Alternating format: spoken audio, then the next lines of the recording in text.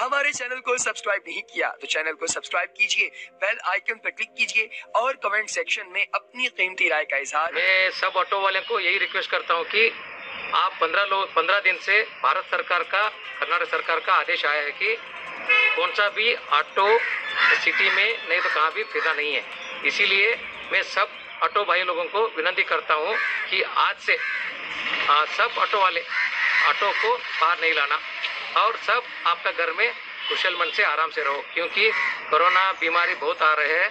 सब छोटे छोटे बच्चे को आ रहे हैं। अगर आप लोग जो भी ऑटो में लेके जा रहे हैं, अगर ऑटो में कौन सा भी किसी को भी आए तो आपको भी आता और आपसे आपका घर का परिवार को भी, बच्चे को माँ बाप को भी आ सकता है। इसीलिए मेहरबान करके जो सरकार का आदेश है, आदेश को पालन करो। मे ट्वेंटी तक अभी बंद करना है। मे ट्वेंटी होने के बाद अगर सरकार ने आप फिर परवानगी दिए तो आप फिर चला सकते हैं। इस तब तक के लिए मेहरबान करके सब ऑटो वाले भी हमारा बात माने हैं। आप सब लोग 24 तक आपका ऑटो घर में रखिए और घर में आप भी सुरक्षित रहिए, मास्क पहनिए, सैनिटाइजर यूज़ कीजिए और सोशल डिस्टेंस ठीक है? सर ಹೇಳ್ತೀನಿ ಸರ್ ಆರು ಗಂಟೆ ಎಲ್ಲ ಈಗ ಆಲ್ರೆಡಿ बसवा कल्याण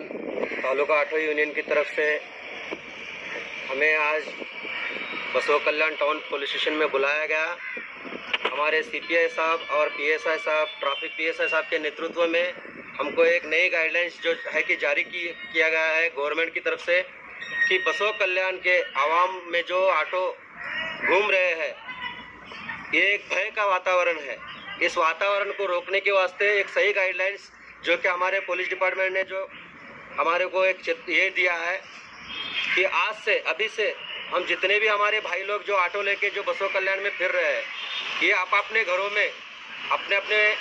फैमिली के साथ सुरक्षित रहे, घरों में रहे मास्क लगा के सैनिटाइजर यूज़ करके अपनी जान को जो है कि जोखम में ना डाले और रोड पे ना आए। इतना मैं कहते हुए अपनी बात पूरा इनकेस अगर कोई पेशेंट को इमरजेंसी होती है तो उस वक्त क्या करेंगे ऑटो वाले? इमरजेंसी अगर कोई वैसा पेशेंट रहे तो करेंगे वो कुछ अगर कौन भी आज शाम से छः बजे से ऊपर सोना भी कौन सा भी ऑटो वाले बाहर आए तो हम हंड्रेड परसेंट कानून की तरफ़ से उनका ऑटो सीज करते हैं और कानून की तरफ़ से उनका कार्रवाई करते हैं। इसीलिए मेहरबान करके कौन सा भी ऑटो भाई लोग आज से आपका ऑटो बाहर मत